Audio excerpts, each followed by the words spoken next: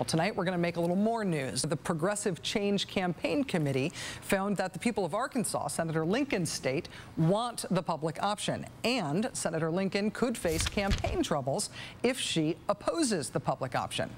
Tonight, we can report exclusively that a new poll from the same group, along with Democracy for America, shows that standing with Joe Lieberman would also be a suicidal political move for Nebraska Senator Ben Nelson. There is new pressure now on two moderate Senate Democrats who have expressed some concerns about the public option. The poll conducted for the Progressive Change Campaign Committee. Moderate Democratic Senator Evan Bayh of Indiana today faced with a new poll suggesting voters would punish him for helping Republicans block a vote on health care, despite previously saying allowing debate on the bill would be equivalent to supporting it. Today, he released a statement saying, quote, he will support moving forward to a health care debate on the Senate floor.